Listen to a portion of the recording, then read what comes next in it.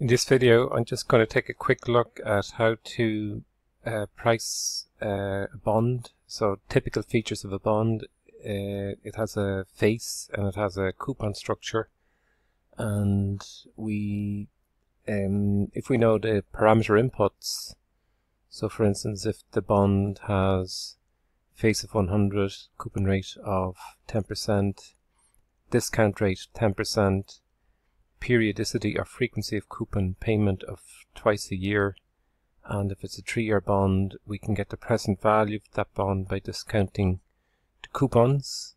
So there's a coupon structure. The coupon is discounted using a loop type structure the coupon is estimated by taking the coupon rate divided by the frequency of the uh, coupon payment times the face. So that's the coupon and that's discounted each period and that goes into a, a loop type structure where we build up accumulatively the present value of the coupons and then once we pass through this loop we then go and discount the face and we add the bond value, in other words, the accumulated coupons to the discounted face, and then we return the bond value. So, okay, let's just uh, copy this code for a moment. Just take the code and copy. Try that again. So we take the code, right click, copy, go into an online compiler, online compiler and I typically use this one, C++ compiler. And we just remove the embedded code and paste code from the document, which I will leave in a link below the video. And we could beautify, in other words, get the curly brackets to line up uh, with each other and uh, have the same indentation um, on the code okay and then we can run that code and because the the bond is a par bond we get a value of um, 100 if the discount rate however is increased to 12% so if we increase the discount rate to 12% the value of the bond should be below uh, the par so we raise the discount rate all else being equal, the value of the bond will drop. If we reduce the discount rate, so if we take out, if we remove the discount rate or reduce it to 8%, the value of the bond would be higher than the face value. And we just run that. Okay, we get a value of 105.242, that's fine.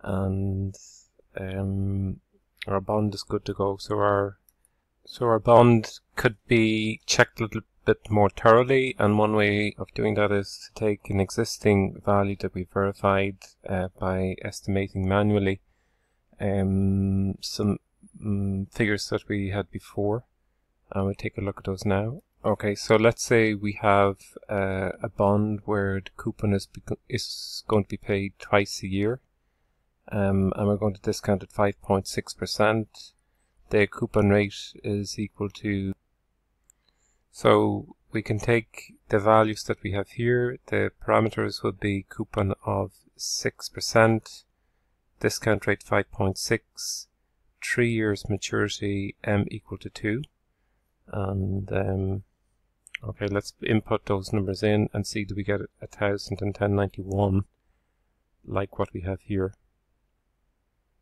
Okay, so we change our parameter inputs to reflect those ones. Uh, face of a thousand.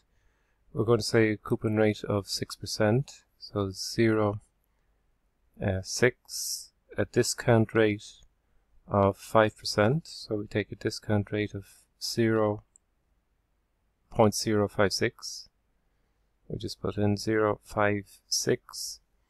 Uh, the payment on the coupon is twice a year and then for a three year maturity let's run that and verify do we get 1091 and we do so uh, the numbers um, are consistent with the worked manual example we had before